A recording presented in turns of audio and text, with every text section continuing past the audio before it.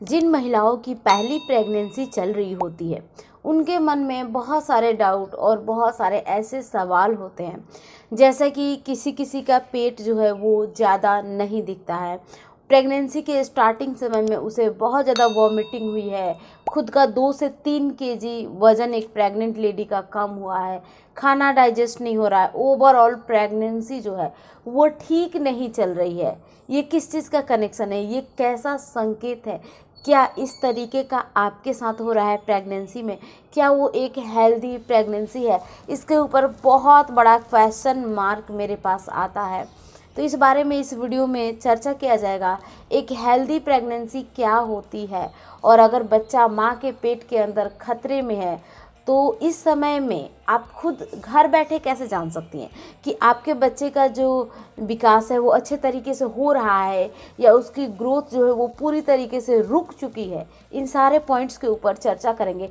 कोई भी pregnant lady कोई भी मंथ चल रहा है उसका, अगर उसने ये वीडियो देख लिया तो आज के आज आपके सारे डाउट क्लियर हो जाएँगे और आज आप जान लेंगी कि आपका बच्चा स्वस्थ है या फिर उसे कौन कौन से प्रॉब्लम की चांसेस बढ़ रही है।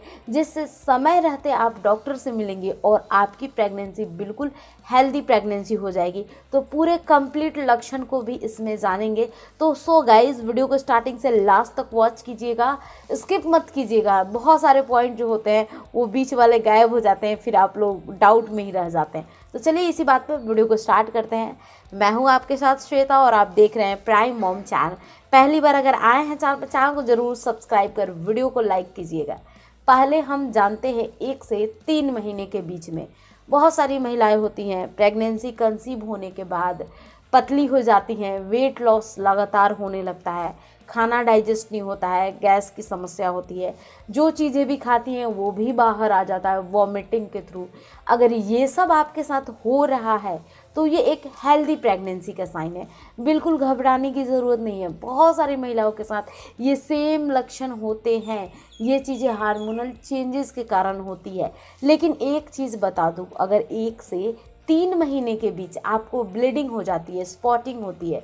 चाहे ब्लीडिंग बहुत ही कम क्यों नहीं हो, बस आपको नज़र आ गई ना वो, दो चार बूंद ही सही। वो ब्लीडिंग ठीक नहीं है, इस केस में आपको डॉक्टर से मिलना होगा। और अगर आपको वोमिटिंग ये सब हो रहा है तो बिल्कुल नॉर्मल है।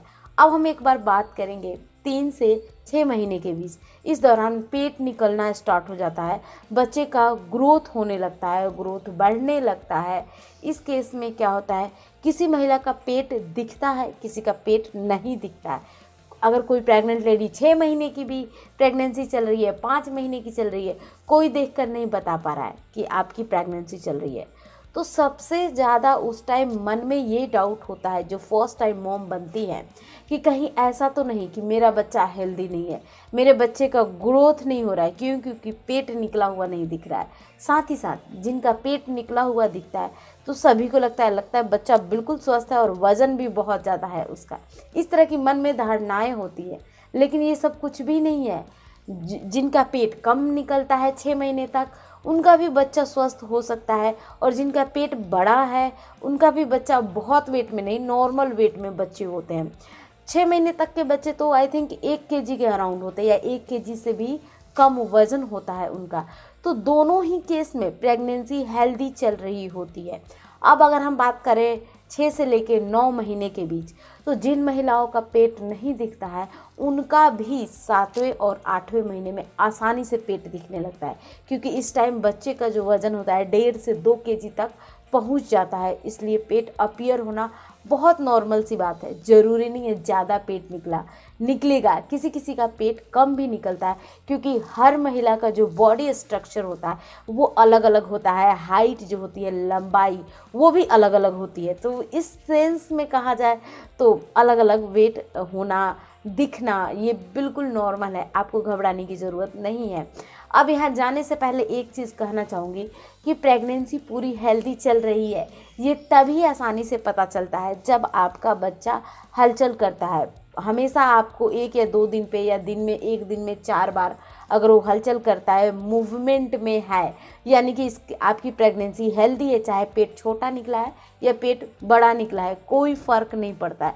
सभी के मोस्टली बच्चे जो होते हैं, वो थ्री के ही होते हैं। मेरी प्रेगनेंसी में मेरा पेट बहुत ज़्यादा निकला था, मेरा बच्चा भी थ्री के ही था। मेरी एक जानकार है, उनका पेट बहुत कम निकला था, उनका बच्चा भी थ्री के था। तो ये बिल्कुल नॉर्मल है। मिलती हूँ आप सबसे कल की वीडियो में। थैंक्स फॉर वॉचिंग तब तक के लिए bye bye and take care